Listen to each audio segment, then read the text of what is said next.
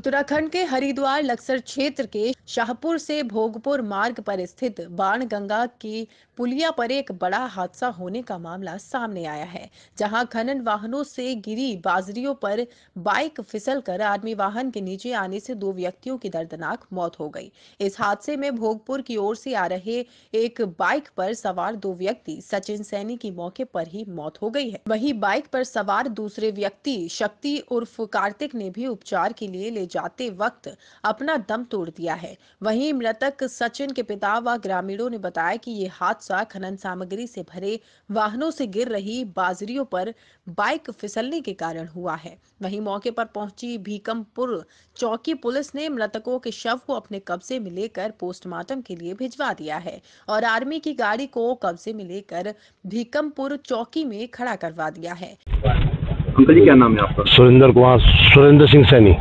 सुरेंद्र जी जो आज घटना हुई है। कहाँ पर हुई है, किस टाइम हुई है किस तरह से हुई है? ऐसा ही हम थे मंदिर पे।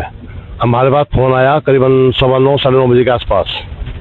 तो लड़की रहती है मेरे पास मंदिर में। उस लड़की ने फ़ोन करा चाचा जी, सचिन भैया का एक्सीडेंट हो गया, आप जाओ जल्दी यहाँ से। मैं कहाँ हुआ बेटे, क्या बाण गंगा में अब जैसे हम गए घोर के साथ में तो वहाँ पता चला जाके, गाड़ी मिलिट्री की गाड़ी में फंसी हुई है और वहाँ से वो लाश को उठा ली। दोनों बॉडी दो बॉडी थी, लड़के थे, दोनों एक्सपायर हो गए थे। मेरा लड़का सचिन रामदेव में काम करता था। उसका वो प्राइवेट जॉब है। और उसके साथ जो लड़का दूसरा था, वो पीडब्ल्यूडी में, वो भी शायद संविदा पर कैसे लगा बेचारा, वो भी दोनों बाइक से जा रहे थे। मेरे लड़के ना उन्हें बाइक वाले से लिफ्ट ली सापुर तक के लिए क्यों उसे रामदेव में जाना था पंचली में। तो वहाँ से बैठे। तो वहाँ जो पोजिशन हुई है, जैसे गाड़ी इनके मिलिट्री की गाड़ी बराबर आई तो वहाँ कोई पत्थर वो पड़े थे बजरी।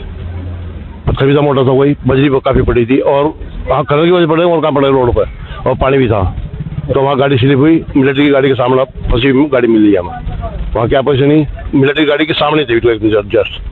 गाड़ी कैसे फलन सब हुई है जो जो पत्थर पड़े हैं वहाँ बजरी पड़ी है और पत्थर है और पानी भी है सभी कुछ था। अच्छा घटना में दो दोनों दोनों दोनों एक्सपायर हो गई।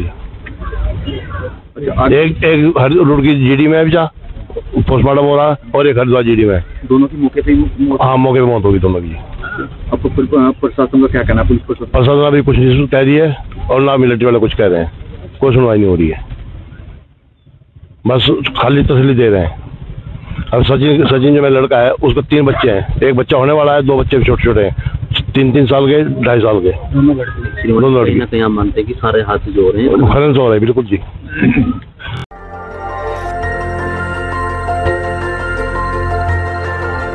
देखते रहिए डीवी भारती समाचार नज़र हर खबर पर।